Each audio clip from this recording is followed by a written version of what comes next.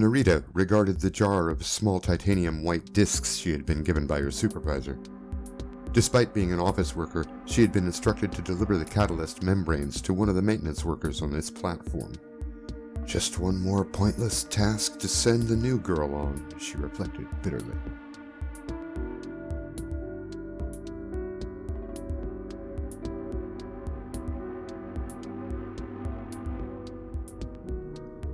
She was lost among the bioreactors, towering glass columns that bubbled with dense olive green growth while parasitic inspection drones crawled over them.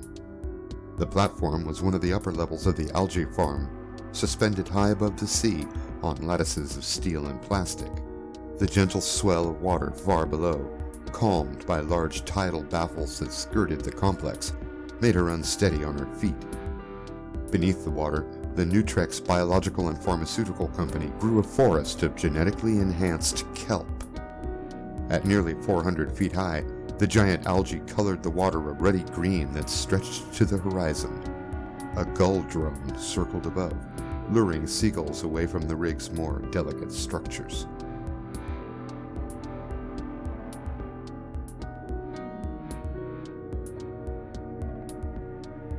What am I doing? Narita muttered quietly to herself. She felt like throwing the damn jar in the water and just leaving. Would anyone notice? Or even care? Probably not, she thought.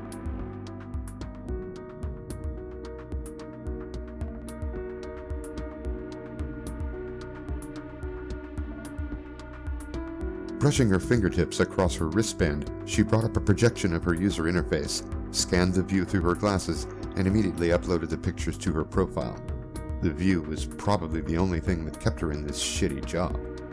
In a city of overbearing towers, dense masses of people, and lattices of freeways and tubeways, being on the Nutrex platform was one of the few places she could go to find open space that wasn't just a virtual experience moderated by AI or supervised by insurance drones and green police.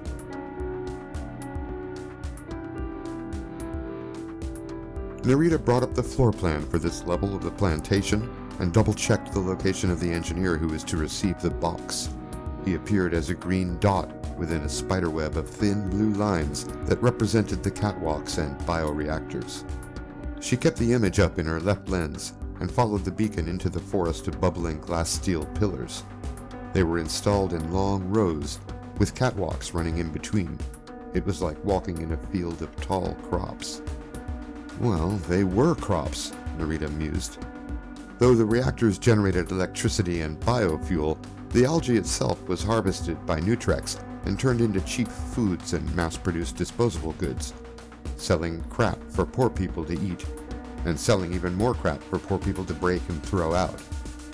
Things might seem affordable, but they needed constant replacing or fixing. It was a false economy, and it was hard to avoid.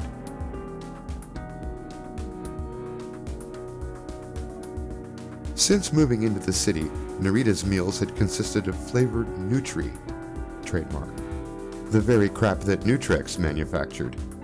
It was bland and textureless and rarely tasted anything like what the packaging said it would, but at least the meals were nutritious and convenient. Her corporate-owned apartment was subsidized by NBP and came fully furnished, but until she figured out how to operate her food printer properly, she'd stick to what she knew. She wasn't about to try that swishy stuff, trademark, their competitors sold. Word around NBP was it contained nanobots that would make you addicted.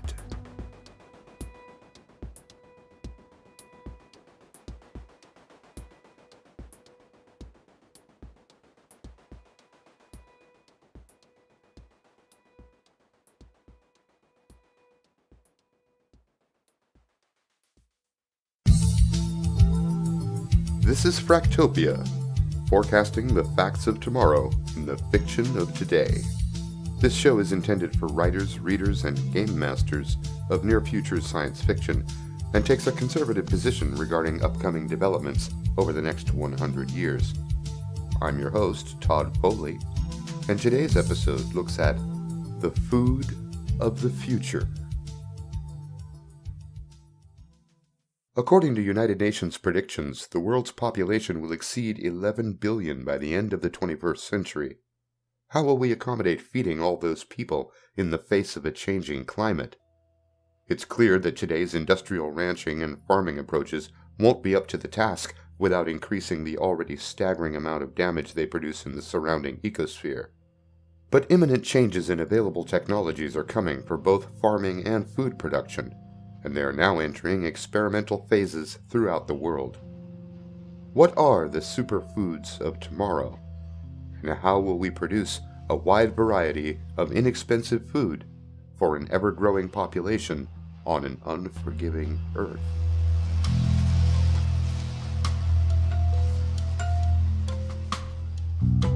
Part 1 New Technologies Anyone who assumes that the food production technologies of the coming century will be similar to those of today would be making a huge mistake. The reasons are many.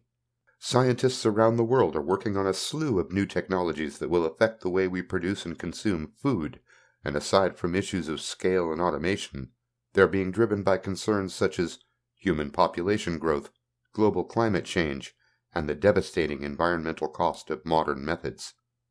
For these reasons, and thanks to the solutions being put forward to solve these problems, the food production methods of the coming century will be vastly different than those of today. Let's take a look at a few of those emerging technologies.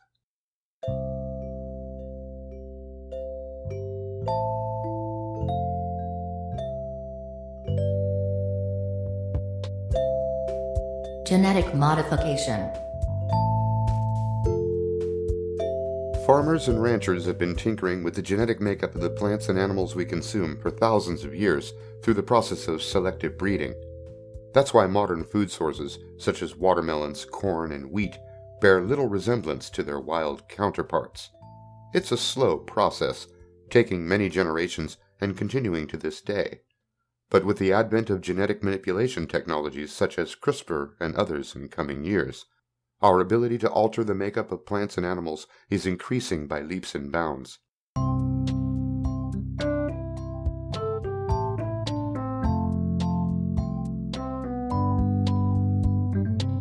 Here's Bill Nye, the science guy.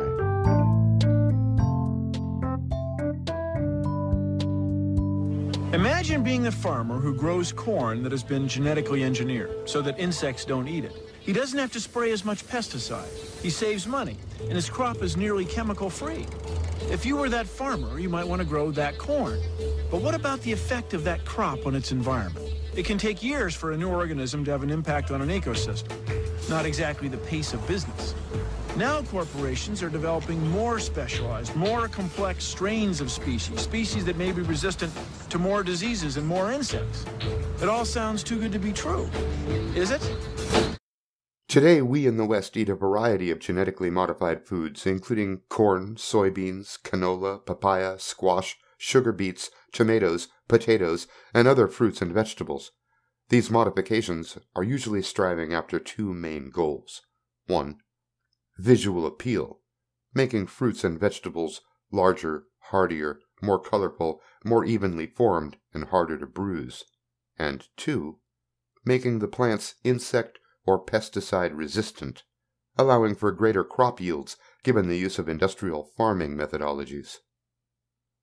In recent years, genetic modification of animal DNA has led to the development of new GMO species, including salmon, which are engineered to grow larger and faster than their wild cousins. So far, salmon is the only meat product approved by the FDA for human consumption. But recombinant bovine somatotropin, a genetically modified protein based growth hormone, has been given to cattle in the United States for two decades, increasing their production of milk. Experiments are ongoing with other animal species, such as chicken and pigs, to make them resistant to diseases such as the avian virus and swine flu, and you can bet that eventually these animals will be modified to increase such things as yield, growth rate, nutritional content, and flavor.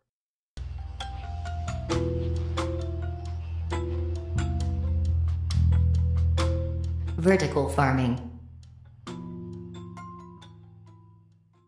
inside each of these shipping containers is the equivalent of a two acre outdoor field, right? So if you imagine a two dimensional field, a farm, and then you turn that on its end and you hang that field off the ceiling and rack it 256 times, right? That's what's going on inside these farms.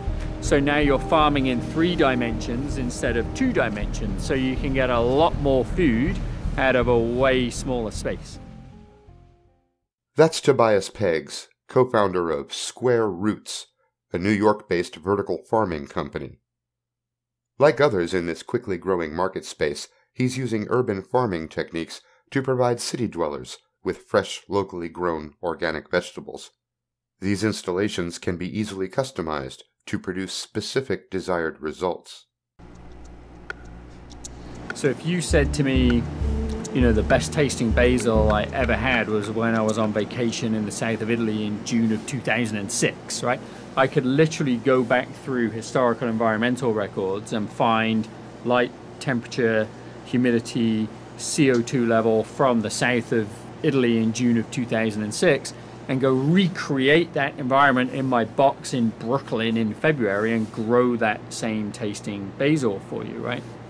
This is very powerful because if you have these modular farms all over the country, now instead of shipping food like the industrial system does, you ship data, right? Ship the environmental data and grow all of the food locally. It's a very powerful concept.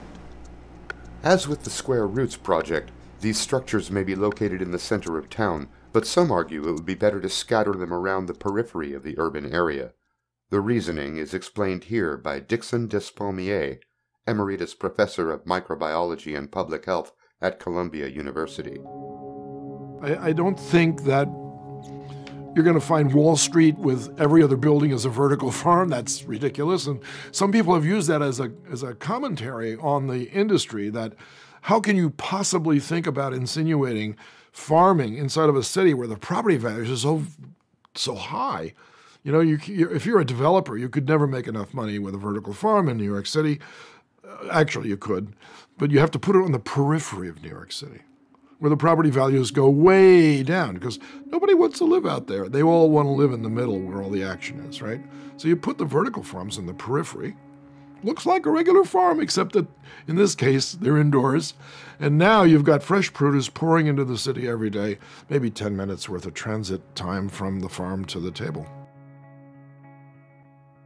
No matter where they're situated, as technologies advance and we get better at this stuff, it's possible to imagine massive tower structures devoted to both interior and exterior farming in every city, providing food for a substantial portion of the population. As time goes by, more and more of these installations, especially the largest ones, will be managed with the assistance of diagnostic drones and specialized robots. These computerized assistants will crawl or fly around the installation, checking, moving, feeding, and harvesting the crops.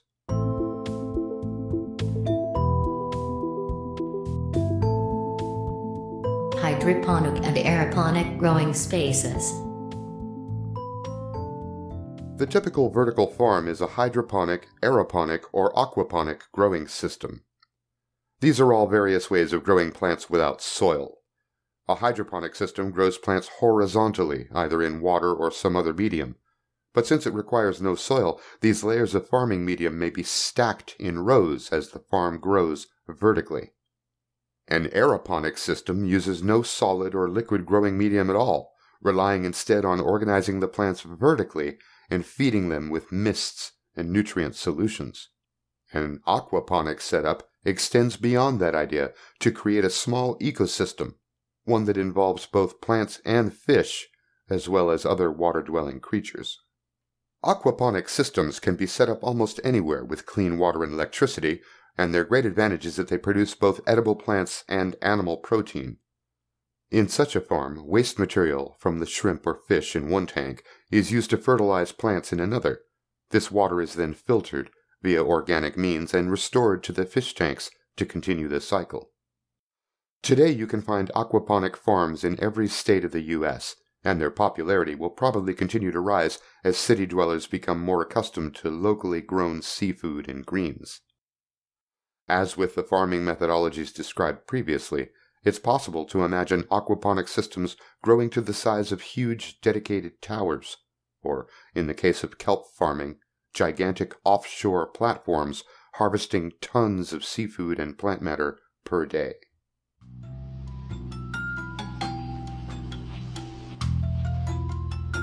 Cellular agriculture.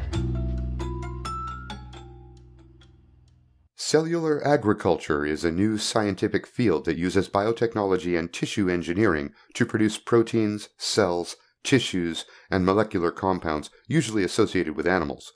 Things like meat, milk, eggs, leather, silk, and bone from living cell cultures. The most highly anticipated result of this new science is, perhaps obviously, cultured meat. So, cellular agriculture is an interdisciplinary field, but there aren't yet any courses or degree programs being offered at a university level, not even a textbook. Academic, peer reviewed scientific papers are few and far between, but that isn't super surprising because, again, this is a very new field of science that we're building as we go. That's Erin Kim, Communications Director for New Harvest, one of the few companies today exploring the cutting edge of cellular agriculture research. Advances in cellular agriculture stand to cause major changes in not only food production, but in many other fields as well. Being able to produce meat and other animal products from cell cultures instead of whole animals may require less water and land usage and give off fewer greenhouse gas emissions.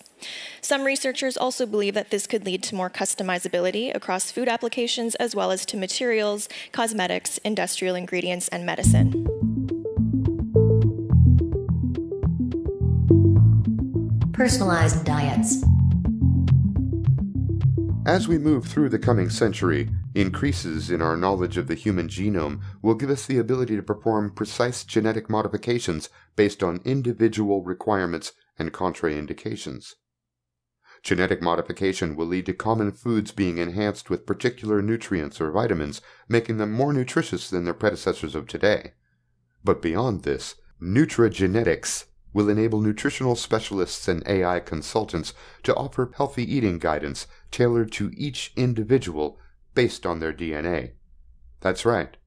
Thanks to CRISPR and other technologies, it should be possible to order your favorite fruit, for instance, but with 50% more potassium and 15% less fructose, and engineered to increase your body's uptake of calcium or modulate your production of insulin. That's a big deal. Edible and biodegradable packaging. The amount of plastic and non biodegradable substances in our oceans and waterways has grown to become a huge problem, and one of the main culprits is food packaging. The most common culprit by far is plastic, which comprises over 37% of all food packaging worldwide. We're all familiar with the recycled cardboard and biodegradable materials used for eco friendly packaging today, and this is an important start, but in the future, this trend will go even further. To help stem the tide of plastic waste, forward thinking companies today are producing food packaging materials which are not only biodegradable, but edible. These new materials serve the same purpose as your cardboard, plastic, or glass containers, but they break down easily under natural conditions, cause no long term harm to the environment, and can be safely eaten by humans and other animals. Edible packaging materials are typically comprised of vegetable matter such as bamboo, kelp, algae, and corn. But recent advances have produced a type of light plastic like material made of casein, a protein found in milk. As we wind our way through the 21st century and into the 22nd, it's certain that eco friendly packaging techniques will become more commonplace and may even be required by government regulation in some regions frugal mothers of tomorrow may tell their children, No dessert until you eat your plate.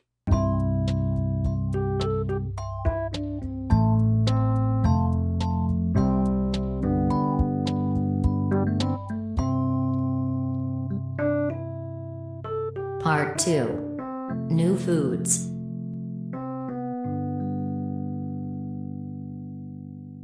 A wide variety of unusual processed foods with surprising properties will be developed in the coming years, including novelties like edible spray paint, algae protein snack bars, beer made with wastewater, and even lollipops designed to cure hiccups.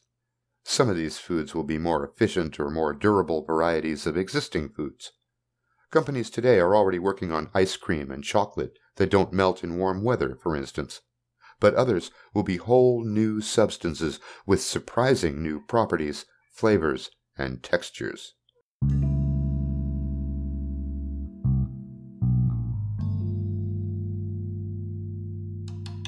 All in one foods. Already, companies like Soylent are creating shakes and powdered food substrates that provide all the necessary nutrients for survival. Based largely on soy and vegetable matter, these all in one foodstuffs could provide a cheap and healthy method of feeding large numbers of people easily, though they do leave aside questions of variety and texture. Mock foods.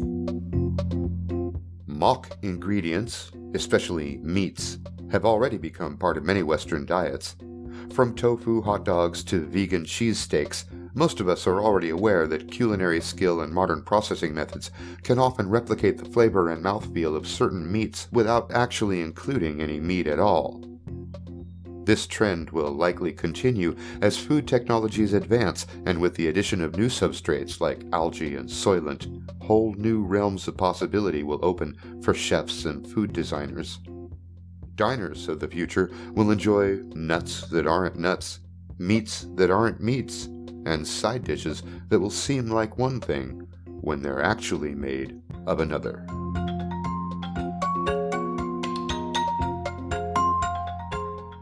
Insect based foods.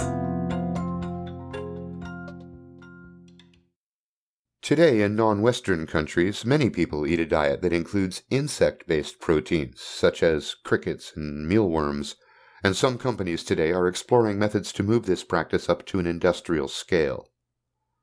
Insect based food production is a more environmentally friendly practice than raising herd animals for meat, and also a more sustainable one. Of course, it remains to be seen how many people in the West will be comfortable with the idea of eating insect matter, but it does tick all the required boxes, and the planet has an abundant supply. Livestock kind of scales with size and its efficiency, so cows are going to be the worst, and chickens are actually quite efficient for their size because there's been so many decades of research in how, you know, to cultivate them efficiently. But even better than chickens are insects. That's Julie Lesnik, an assistant professor at Wayne University who specializes in the evolution of the human diet with a special focus on insect based foods. If you want to know about eating bugs, she's your go to person. They use so much less uh, water and other resources. They naturally like kind of dark and cramped environments. They're much more efficient at turning their feed into food for us. What are the insects that we're likely to use in the future and why? Currently, crickets and mealworms are both being farmed at facilities just for human consumption. These species are easy to rear and offer nutritional benefits similar to traditionally raised livestock. And so this is, these are the first insects that are really taking hold as, you know, uh, Western food insects as opposed to what has most traditionally been done by wild foraging in the third world, there are people eating insects right now, like as a, as a casual matter of course. Yeah? Absolutely. Billions of people around the world eat insects, mostly in tropical regions. From kind of the Western perspective, insects were only something other people ate. And so it became associated with the primitive.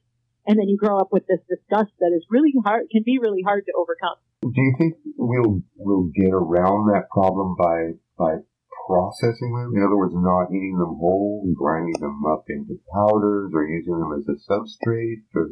Yeah, some of the um, first products on the market are actually made with cricket powder. So where they're ground up, it's just 100% ground up cricket, and they can be put into protein bars and things like tortilla chips. And, and how much protein can an insect-based diet provide? Crickets have 60% of their dry matter is protein. And so get quite a bit of protein from them. And this scale is very similar to what you see in traditionally raised livestock. Let's say we look 50 to 100 years down the road. What sort of insect-based foodstuffs might we find? I really think that 50 to 100 years down the road that we could really see fast food chains and restaurants and grocery stores having insects as food is a very common item.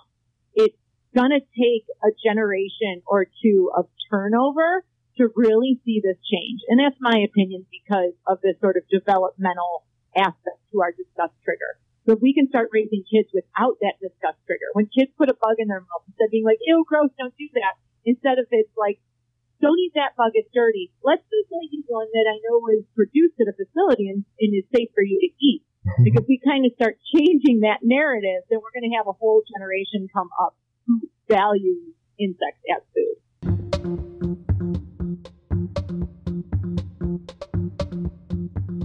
Sea-based foods. Aside from the flesh of piscids and shellfish, sea based food sources of the future will include algae, kelp, and krill. These biomasses are not only rich in nutrients and easy to process, but lend themselves easily to the use of scalable farming techniques, both onshore and off. Algae, in particular, is filled with proteins, fats, and carbohydrates, making it a good source of nutritional value. While one generally thinks of algae farms as huge, floating installations in lakes or wetlands, advanced farming techniques are coming to bear on this industry, making it possible to do the same thing in drier climates, even in the middle of the desert. That's exactly what's happening in New Mexico today, where a company called Iwi is farming algae for people to eat. Here's CNN correspondent Rachel Crane interviewing Rebecca White, Vice President of Operations at Iwi. One of the interesting things about algae that leads to the much more higher yield than traditional crops is actually that we do this year round. With corn, you plant once, you harvest once. Right. But this stuff, we might harvest a single pond as much as two or three times a week. Despite all these qualities that make algae such an attractive crop, it's algae's value as food that's most remarkable. Iwi says this strain is about 40% protein and contains all of the essential amino acids humans need. This is the final product from the farm. This is your green gold right here. Yes, ma'am. Meat has those nutrients too, but it uses up a lot more of our finite resources like water and land, not just for the animals, but to grow their food too. As for other plant proteins, some estimates say that algae can produce seven times the amount of protein that soybeans could on the same amount of land. Yeah, it's just salty. Just salty. Can't believe I just did that, but it was.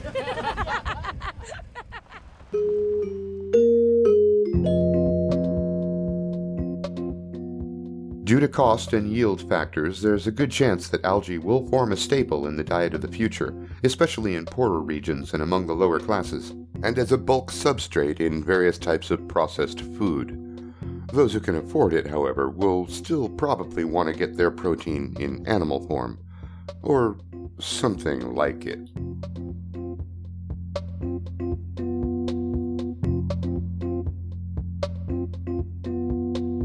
Lab grown meat.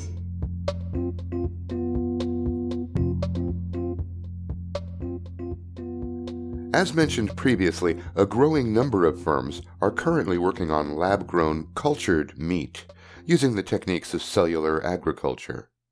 In a typical scenario, these cuts are cloned from animal stem cells, which are then modified into replicating muscle tissue, resulting in actual edible meat, but without the cruelty of industrial ranching and slaughtering. The first widely available cultured meat products should be available for mass production by the 2030s, and many are betting it will be a multi billion dollar industry by the middle of the century.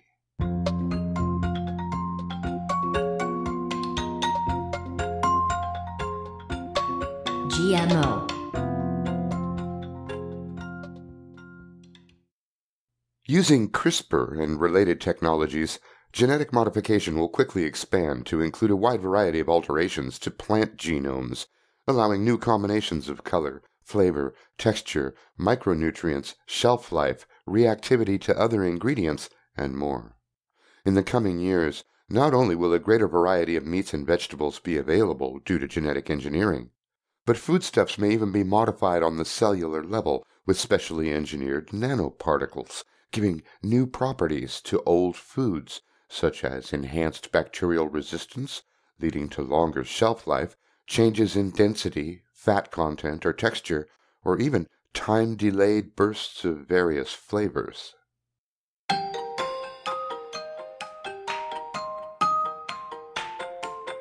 Part 3 Taking It to the Future. So far, we've covered a broad spectrum of food possibilities that includes all the necessary nutrients and derives from a variety of sources. To better understand how this all might come together with other emerging technologies, let's take a short trip to the future and imagine how a citizen of 2119 might describe the landscape of food production and consumption.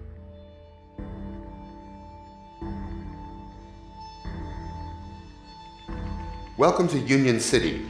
The year is 2119, and the majority of the population eats food derived from high calorie vegetables, grains, legumes, and super algae, often created via cellular agriculture and tended in giant domed farms by automated systems.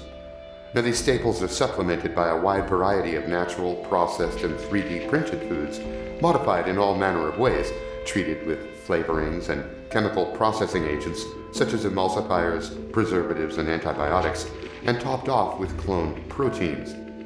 Very little meat is processed directly from animal sources anymore. Although far from the cities, one still can find old school farms and ranches growing and producing food the old fashioned way.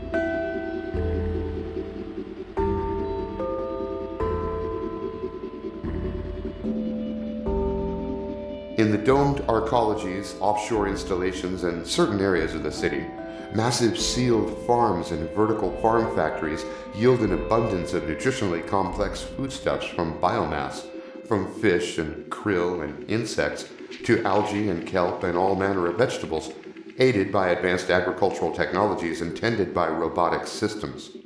Thanks to cellular agriculture and other modern processing techniques, these core staples can be modified to mimic the flavor, texture, and density of most traditional foods. Most food is grown, cloned, or printed right here within the city in vertical farms or food processing labs. The majority of animal based protein consumed by metropolitans today is comprised of insect based proteins and cloned meats grown in massive vat labs. In addition to giant mega corporations providing meat to brand name food distributors and restaurant chains, small meat labs can be found in suburban areas and sprawls alike, often specializing in specific proteins or genoculinary techniques.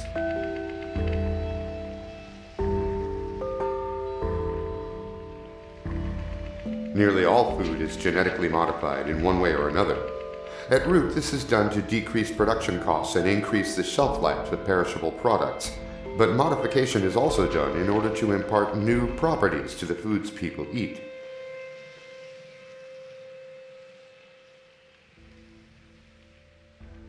Now, of course, it's still possible to obtain what some call naturally real ingredients at a premium price from small artisan shops and distant wilderland outposts, but for the most part, the low cost and other benefits of GMO foods have become matters of simple reality, and they cause very little argument or uproar. Specialized 3D printers with onboard heating elements can be used to assemble raw processed nutritional resources into full meals using recipeware, which can be bought, sold, and traded online. And this is the single most common method of food production in the average household. Even a fancy home cooked meal will include some printed dishes out of sheer convenience.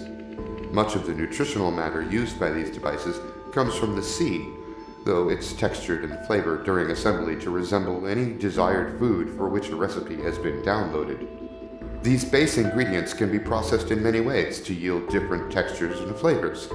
A typical recipe might call for a tube of Nutri-Substrate, for instance, along with a few flavor packets, some water, an emulsifier, and one or two personal preference settings, just enough to make you feel like you're cooking. A few minutes later, bing! Your printer delivers a Salisbury steak and fried potato dinner. Food printers come in all sizes, From small home appliances, single person or family models, to the large multi chambered industrial printers seen in fast food hubs, food vending vehicles, auto bakeries, and other commercial installations. The simplest units require you to feed the ingredients into the machine and wash all the parts after each use. But luxury models are not only self cleaning, but contain a variety of storage compartments for different ingredients, allowing them to serve up completely automated meals at the push of a single button. Molecular recombination and chemical synthesis have made it possible to include all the required proteins, enzymes, and micronutrients needed for survival in a rich compound that can be flavored, printed, and served in a variety of ways. The common term for this food substrate is Nutri. It's the main ingredient in most 3D printed recipes and fast foods, and for those on a tight budget, it may at times be the only food material available. Popular forms of pre-processed Nutri-based foods are Nutribars and Nutribevs in recyclable pouches. Basically, these products consist of Nutri with various textures and flavoring added. They're manufactured to be a cheap source of minimal nutrition, and often the packaging itself is edible. For those on the go, automated food hubs with their own menus of corporate branded and patent protected recipes have replaced old fashioned fast food outlets. These food hubs are common hangouts and are regularly crowded with hungry people, especially in lower class areas. Of course, kiosks and wireless payment systems have replaced human cashiers, and the food preparation, including protein printing, is handled by machines. These machines are not only cheaper than humans, they're cleaner and faster. The cheap but flavorful meals produced at most food hubs are constantly changing with the trends and vigorously protected by copyright law, but counterfeit copies of protected recipes may often be found on the black market or downloaded via the dark net. When it comes to fine dining and ambiance, the chatty systems of the food hub are replaced by attentive server robots and AI software. Almost anywhere you go out for a sit down meal, every table includes its own menu screen, holographic display, or conversational AI order taker and your food is delivered by robotic systems. The actual cooking in most restaurants is done by culinary bots, but that's not surprising since many wealthy people now have one of their own at home. Sure, a few upscale restaurants offer old timey experiences with human waiters and chefs, but being more expensive to operate, such places are usually found in the trendy fast districts. Of course, not so many people go out to eat as once upon a time. In the Ubicomp zones, it's not really necessary to know how to cook, or even how to use a food printer, since it's common for people to have fully prepared dishes delivered directly to them from one or more local restaurants or kitchens, either via automated cars or airborne drones. Many restaurants and food service partnerships even offer subscription services, which communicate with your personal digital assistant to make sure your meals are delivered to you on time and ready to eat.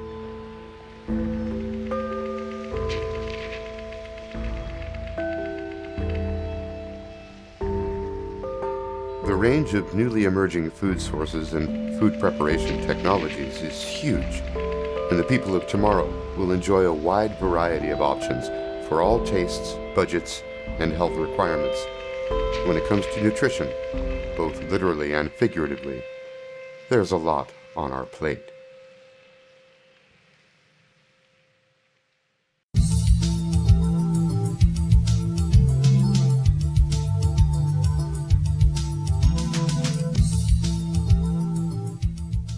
Thank you for listening to this episode of Fractopia.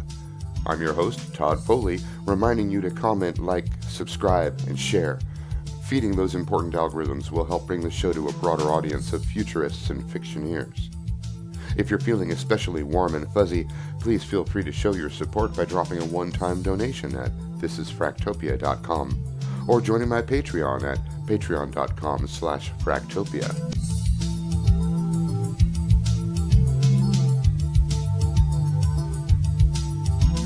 Today's episode included the fiction of Adrian McCauley, underscored by the music of David Szesztay, as well as a variety of compositions from the Blue Dot Sessions, which you can check out at www.sessions.blue. Sources and links for further reading can be found in the show notes below.